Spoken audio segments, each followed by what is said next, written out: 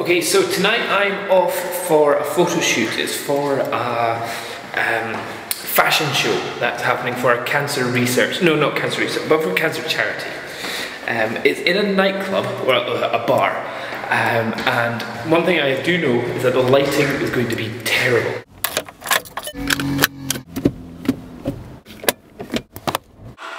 And if I know the lighting is going to be terrible, then I'm going to bring all my flashes. All three SB900. And this is a little driving shot uh, with the little camera on top of the dash of my car as I drive through Edinburgh from Morningside down right into the city centre to the club where the fashion show is going to be happening. I wasn't actually speaking, so Okay everyone, so here's a clip of uh, going into the place where we're going to be doing the model fashion show. It's a cancer charity fashion show um, and it's in a place called the Ghillie Dhu in Edinburgh, which used to be a horrible old casino but has now been turned into a totally pimped out kind of dining hall reception area.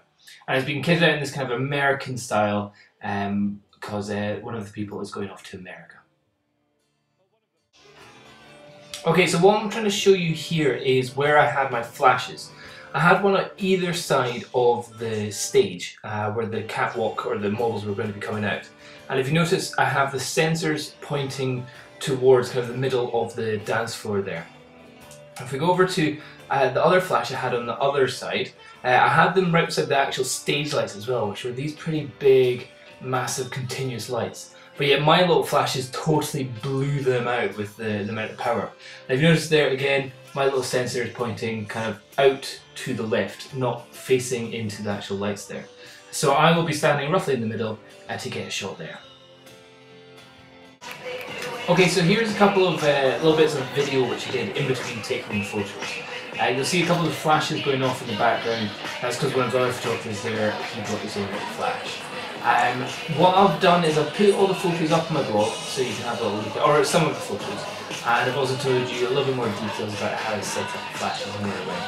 And so here's just a couple shots of the girls just for you to see and then I'm going to make a different.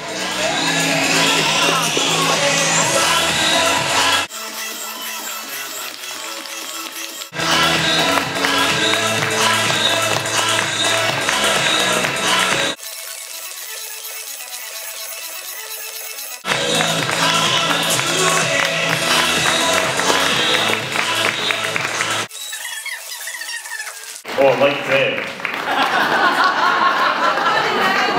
I would fit into one of those. See if I... No, I don't have the inclination. It's not the audience. We'll tell you about that anyway. And so, well done, ladies